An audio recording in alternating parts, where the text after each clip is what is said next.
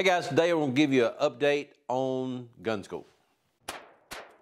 We've got projects that I have to do for Modern Gun School, and I've got the first two completed and getting ready to send those back to the school. So I wanted to show them to you before I send them. So I think on one of the earlier videos that we did about Modern Gun School, I showed you this stock and what it looked like when I got it. Had a pretty even finish on it as far as color, and then it looked more like an oil finish rather than urethane or any type of hard finish on the gun. So I stripped all that off and used the Tru-Oil finish that was sent in the package with this and actually wound up having to do this thing twice because the first time the color was fine and it looked nice as far as the color, but that finish is a little bit difficult, if you want to say, to work with uh, at times.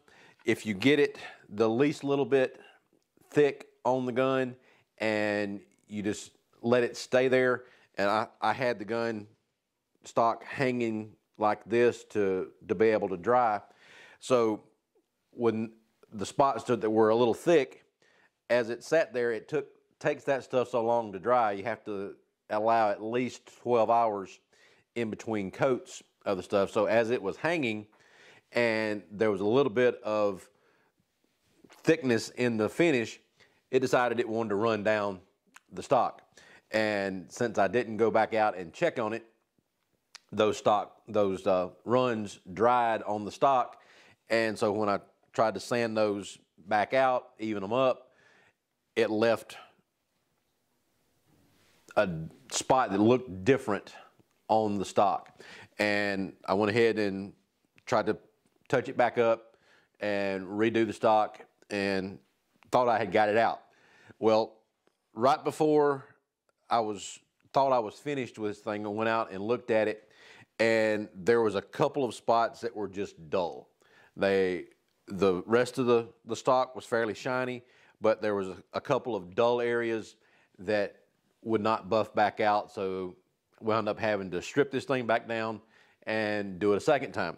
So I did it still with the same Tru-Oil finish, but I did it a little bit different this time. So when I was putting the coats on there, I would stay out there with it, and if it had started to run at all, I would take the the steel wool or whatever I was uh, applying it with at that point and smooth those runs back out so that it would dry more evenly.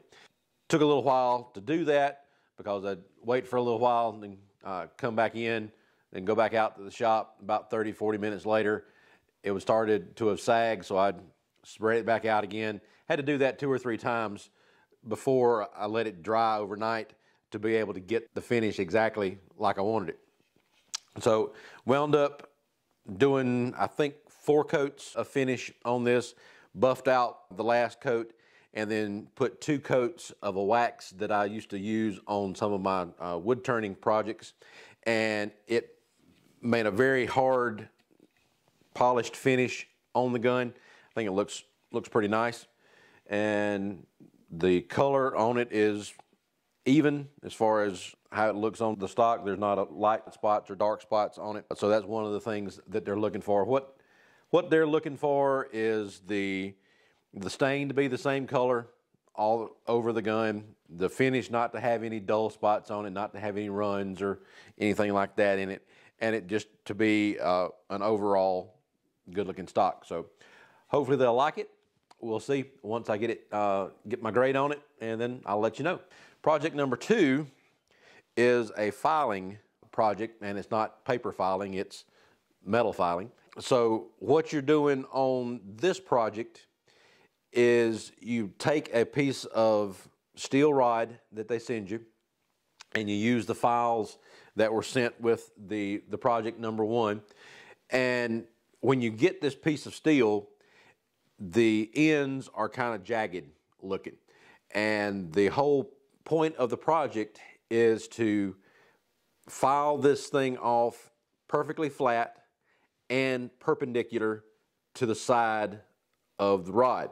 So you take the little engineering square and when you put it on there, put the long axis down the, the length of the rod and then the, the crossbar across the top, make sure you don't see any light coming through uh, in the area when you hold it up to the light to make sure that uh, you've got the thing perfectly flat. And then you take a magic marker, color the end of it, and run the file across it a couple times just to see if there's any low or high spots in there.